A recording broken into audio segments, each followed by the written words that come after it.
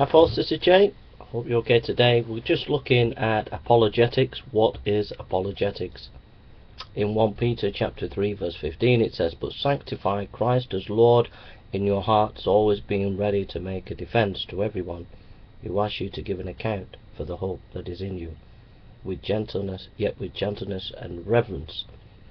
Uh, Matt Slick says the word apologetics comes from the Greek word apologi, pronounced apologia, it means a verbal defense. It's used eight times in the New Testament. Acts chapter 22 verse 1, Acts chapter 25 verse 16, 1 Corinthians chapter 9 3, 2 Corinthians chapter 10 verse 5 and 6, Philippians chapter 1 verse 7, 2 Timothy chapter 4 verse 16, 1 Peter chapter 3 15.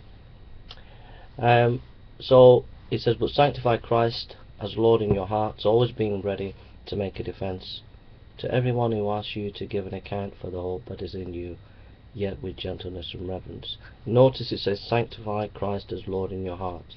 It's important to stay close to the Lord if we're going to do apologetics. It says, always being ready to make a defense to everyone who asks you to give an account for the hope that is in you. So all of us, every Christian, should have an understanding of the gospel and be able to defend it against those who might want to critique it.